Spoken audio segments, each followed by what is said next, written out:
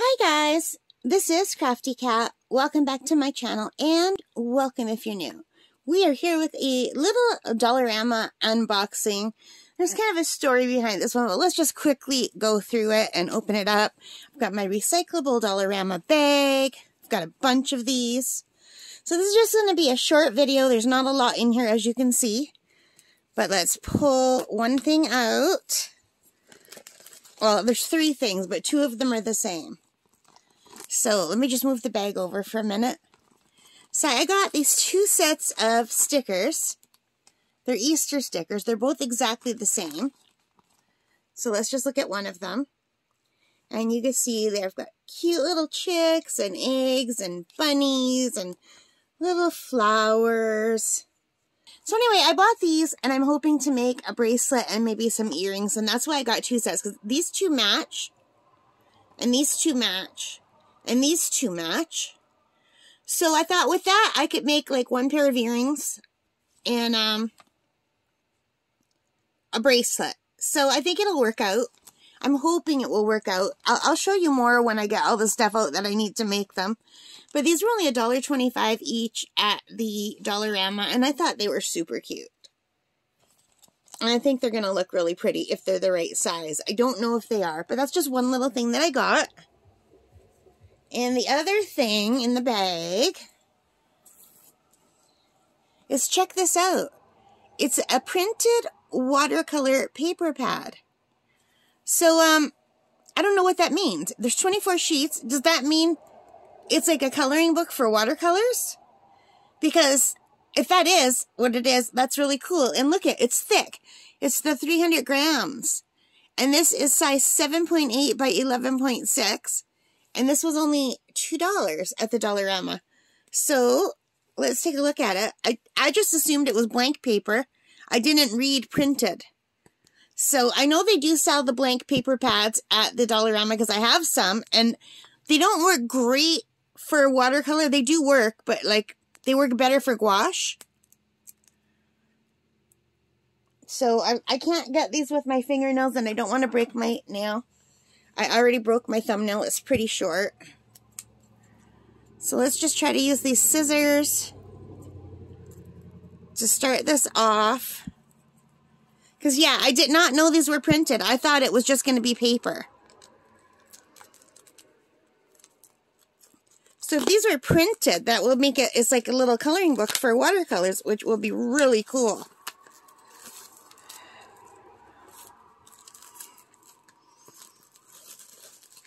Alrighty. Let's get rid of the paper and let's take a look. Is this going to be blank or is it going to be printed? What do you think? It says printed. And there is a picture of a print. That should have been my clue, but I just really assumed it was plain.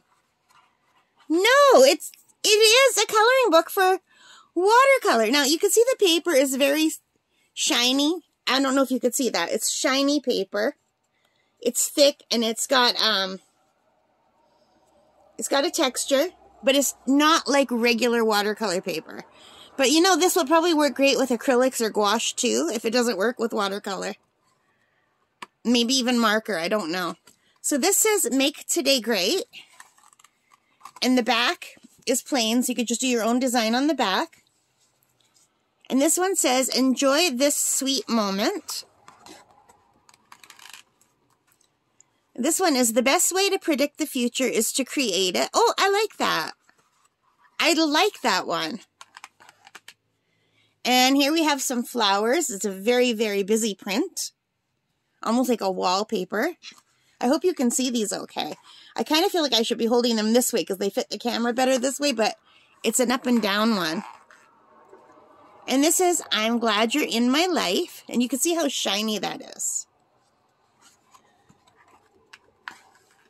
And once you pop, you can't stop. Oh, it's a popsicle with some stars. So this is really cool. So anyway, um, I don't want to go through this whole one. If you want me to go through the whole thing, I will. Let me know in the comments. But let's just quickly flip through. And that kind of has a border around it. You can write your own message in the middle. You could probably fold that and it would make a pretty card too. If you were to fold it, you could put like a message on one side and yeah, I, I'm showing you everything anyway, aren't I? So let's go faster. Oh, I like that deer. So you guys, this is totally a watercolor coloring book. So I got this at the dollar store not near my house, um, Donuts. This is from the dollar store down by the mall on the waterfront. I wanted to go for a walk yesterday. You guys, I gotta tell you a story. So I like to walk at a place called Whitefish Island. It's, um, there's a beaver pond. There's birds. The birds eat right out of my hands. I'll try to put a picture here if I can find one. So anyway, but yesterday, just as I was about to make the turn into where where you go to park to get to that trail, I got a bad feeling really strong come over me. You ever get like a bad feeling something's telling you not to do something? And that feeling was like, keep driving, don't go here. Go to Bellevue Park instead. Do not go here. And I didn't listen to it because I've been sick for a while and I haven't gone for a walk for a while. So I thought I have anxiety. So I thought maybe it was just my anxiety telling me go home because I get like that. So I ignored that really strong feeling and I went to go park. And then I decided to take some pictures of a real pretty house. I'll put some pictures here of that house before I crossed over the bridge to get onto the trail. And as I was taking pictures of this house, a bunch of police cars went by, both OPP and the city police, and they were driving really slowly and they were driving up and down. So I kind of freaked out. So I went back to my car and I sat in my car for about 10 minutes and the cops were just driving up and down.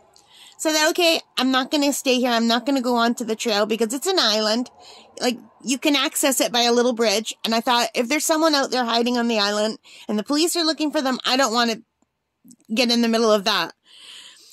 So I thought, okay, I'm going to go to the boardwalk. So the boardwalk is a real pretty a trail alongside the river right by our mall. It starts at the mall and, and it goes like the length of the waterfront through part of our city. So I went to go drive there. And there's part of that trail that leads to where I just was by another trail. And there's a little white bridge that leads to that. And there was a cop car blocking off that bridge. And I thought, wow, Okay, so they're definitely blocking off access even to going to the, the Soo Locks is what it's called. So I thought, okay. So I took some pictures of the water and it was really cold and, and I was worried about all these police everywhere. So I thought, you know what? I'm just going to go in the mall. So that's why I ended up at that dollar store, which I never go to. So anyway, um, I did go back in later and buy more stuff, but it was in a different bag because I went back to the car to see if I could go for a walk and I was still too cold. So I just put this in the car and then I went back to the mall, but we'll do that another day because this is already getting pretty long. But I'm pretty excited that I got, um, basically a watercolor coloring book and I'll let you know how it is. We'll try this out together. So if it doesn't work for watercolor, it would definitely work for gouache and I have both and I have acrylics. Acrylics work on anything and this, and we'll do this, well, if this works, if these are the right size, we'll do these together, and we'll make some bracelets and earrings. Alright guys, so that's it for this little short one. I hope you liked it. If you did, please give me a thumbs up. Hit that like button. Hit the subscribe. Hit the notification bell. All of those good things that help me as a channel. Thank you so, so much for your support. And let me know in the comments what you would have done if you saw all those cop cars, would you have would you have gone for the walk anyway, or would you have done like I did and leave? All right, guys, take care, stay safe, and happy crafting. Bye.